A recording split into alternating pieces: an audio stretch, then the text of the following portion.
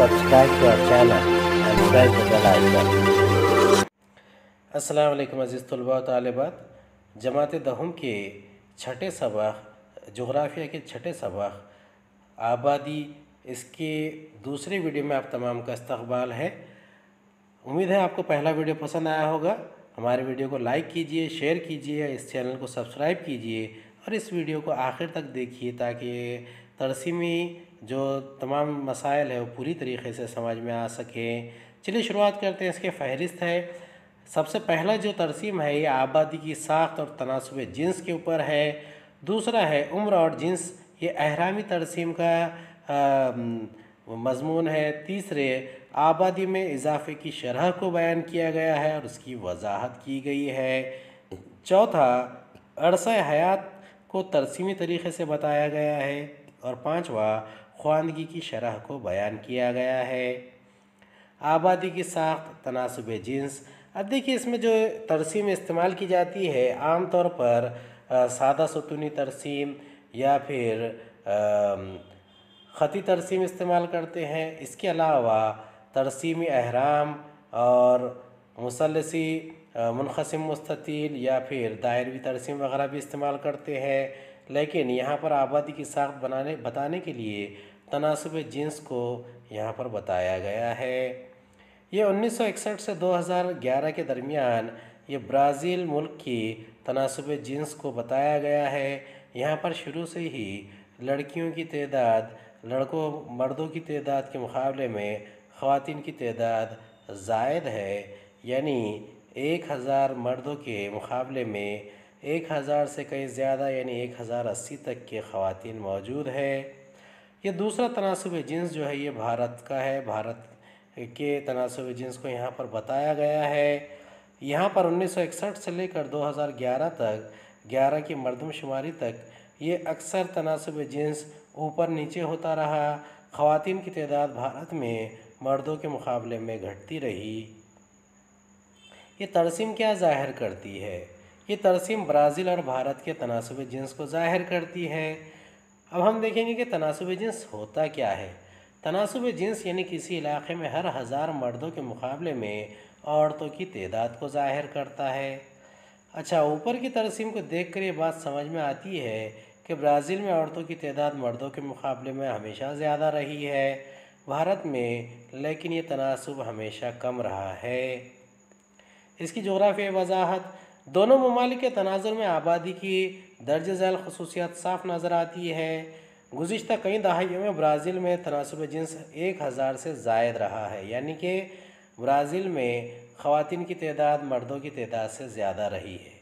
Brazil में तनासब jeans के लिहाज से मुल्क में औरतों की तादाद 2001 ईस्वी से मर्दों की तदाद से बहुत ज़्यादा बड़ी है, वो हमने तरसीम में देख चुके हैं।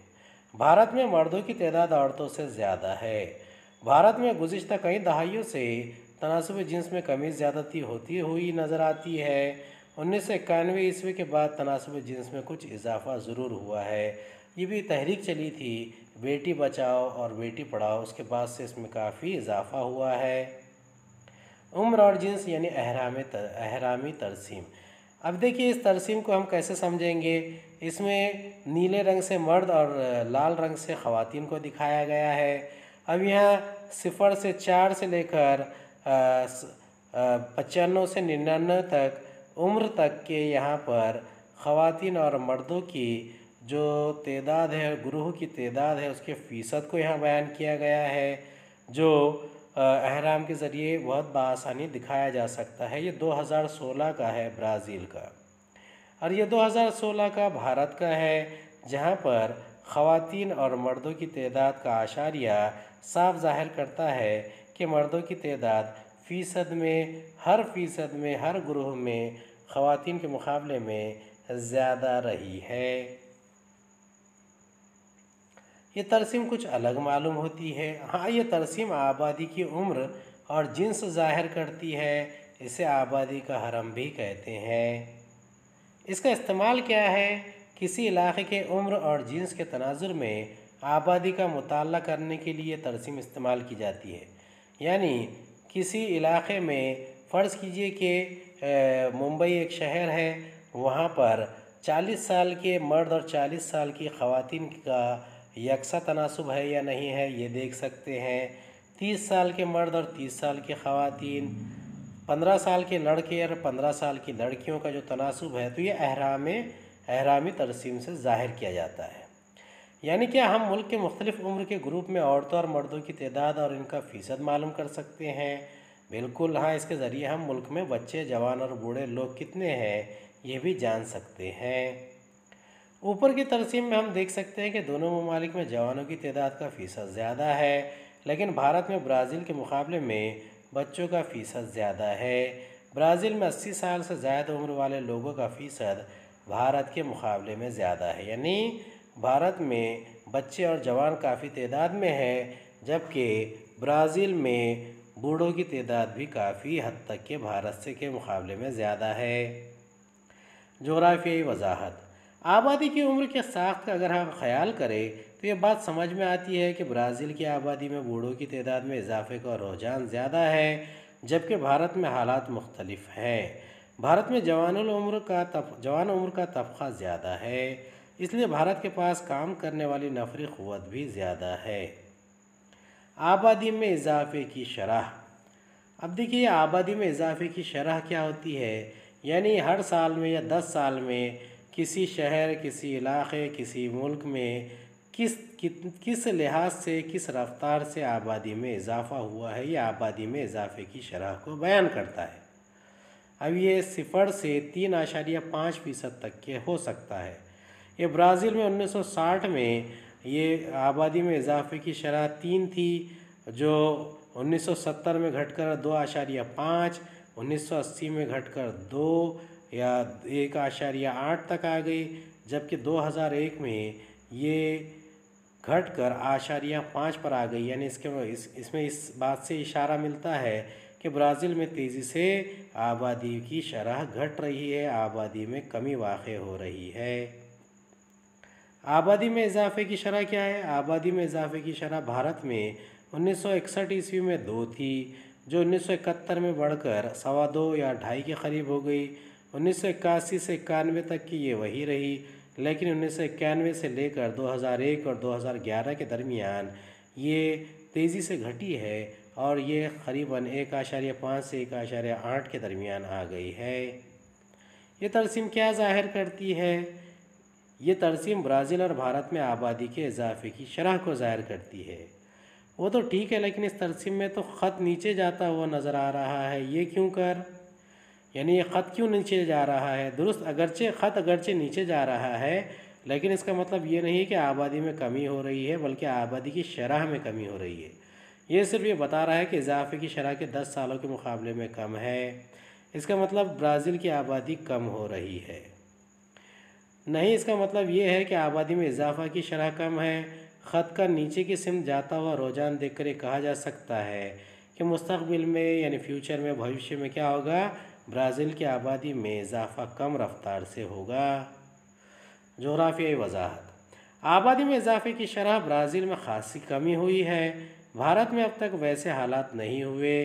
2001 से 2011 की दहाई में भारत की आबादी में अट्ठारह आशारिया दो करोड़ का इजाफा हुआ। भारत में आबादी में इजाफे की शरह उन्नीस सौ इकहत्तर तक ज़्यादा थी। बाद शरह थम गई। फ़िलहाल आबादी में इजाफे की शरह कम होती जा रही है, लेकिन आबादी बढ़ रही है। देखिए, आबादी ज़्यादा होगी तो आबादी बढ़ेगी ही। शरह कम होने से क्या होता है कि उसकी रफ्तार में कमी आ जाती है। ब्राज़ील की तरसीम का मुशाह करते हुए ये महसूस होता है कि आबादी में इजाफे की शरह कम हो रही है और अगली दो दहाइयों में ब्राज़ील की आबादी में इजाफे का इम्कान कम है। अरसा हयात, यानी कितने साल कौन सा, कौन से मुल्क के लोग ज़्यादा जी रहे हैं, यानी उनकी उम्र ज़्यादा हो रही है। औसत अरस हयात ये सिफ़र से अस्सी के दरमियान है। 1960 ईस्वी में ब्राज़ील का औसत अरस हयात चौपन था जो 2016 ईस्वी में बढ़कर पचहत्तर साल हो गया। और भारत का अरस, औसत अरस हयात 1960 ईस्वी में इकतालीस था, जो बढ़कर 2016 में अड़सठ साल हो गया। ये तरसीम ब्राज़ील और भारत के लोगों का अरसा हयात ज़ाहिर कर रही है ना? जी बिल्कुल हाँ लेकिन औसत अरस हयात क्या है? इसका मतलब ये है कि पैदा होने वाला फ़र्द औसतन कितने साल ज़िंदा रह सकता है? इसका मतलब ये होता है कि हम भारत में रहने वाले औसतन सत्तर साल ज़िंदा रहते हैं। हाँ और ब्राज़ील के लोग औसतन पचहत्तर साल ज़िंदा रहते हैं। 1960 में भारत के लोगों का अरसा हयात इकतालीस से कम दिखा रहा है, लेकिन अब इसमें इजाफ़ा हुआ है और मुस्तबिल में इसमें और इजाफ़ा होगा, इसका इम्कान है। जोग्राफियाई वजाहत। औसत अरसा हयात में होने वाला इजाफी, इजाफ़ा समाजी तरक्की की एक अहम अलामत है। सेहत के ताल्लुक से सहूलियात में इजाफ़ा होने तबी शोबे में तरक्की होने और हयाती नामेज़ गज़ा की मुनासिब मकदार मैसर आने से अरसा हयात बढ़ जाता है। तरक्की पजीर ममालिक में अरसा हयात अभी तक कम है, लेकिन समाजी और इकतदी तरक्की के साथ साथ इसमें आहिस्ता आहिस्ता इजाफ़ा हो रहा है। ख्वानदगी की शरह। ख्वानगी किसे कहते हैं? लिटरेसी। ये ब्राज़ील की तरसीम है। ये इसमें भी उन्नीस सौ इक्यासी ईस्वी में ब्राज़ील में ख्वानदगी यानी लिटरेसी रेट, यानी पढ़े लिखे लोगों की तादाद चौहत्तर आशारिया छः फ़ीसद थी, जो 2016 ईस्वी में बढ़कर बयानवे आशारिया छः फ़ीसद हो गई। भारत में उन्नीस सौ इक्यासी ईस्वी में ख्वानदगी की शरह, यानी पढ़े लिखे लोगों की तादाद चालीस आशारिया आठ फ़ीसद थी जो बढ़कर 2016 में बहत्तर आशारिया दो फ़ीसद हो गई। अब यहाँ पर देखेंगे हम इसका मुताल करेंगे और समझेंगे किस मुल्क का तनासब जिन्स ज़्यादा है, ब्राज़ील का तनासब जिन्स ज़्यादा है। अब देखिए, तनासब जिन्स में अगर फ़र्क देखा जाए तो भारत का है, लेकिन ब्राज़ील में ख़वान की तदाद मर्दों के मुकाबले में ज़्यादा है। ज़्यादा ख्वानदगी वाला मुल्क कौन सा है? यानी पढ़े लिखे लोगों का मुल्क ब्राज़ील है। किस मुल्क में आबादी में इजाफ़ा ज़्यादा हो रहा है? भारत में आबादी में इजाफ़ा ज़्यादा हो रहा है। किस मुल्क का औसत अरस हयात ज़्यादा है? ब्राज़ील का औसत अरस हयात ज़्यादा है, यानी पचहत्तर साल से ज़्यादा है। किस मुल्क में बूढ़ों का तनासब ज़्यादा है? ब्राज़ील में बूढ़ों का तनासब ज़्यादा है।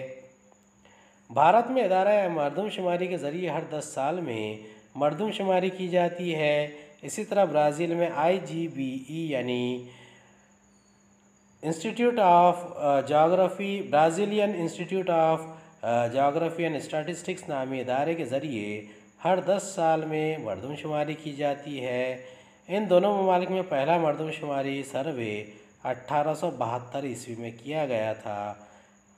भारत की मरदमशुमारी इब्तदाई दहाई पर मुबनी है, यानी ये उन्नीस सौ इकहत्तर, इकसठ इस तरीके से आगे बढ़ेगी। और ब्राज़ील की 1960 से 1970 उम्मीद है ये वीडियो पसंद आया होगा। अगले वीडियो मुलाकात होगी।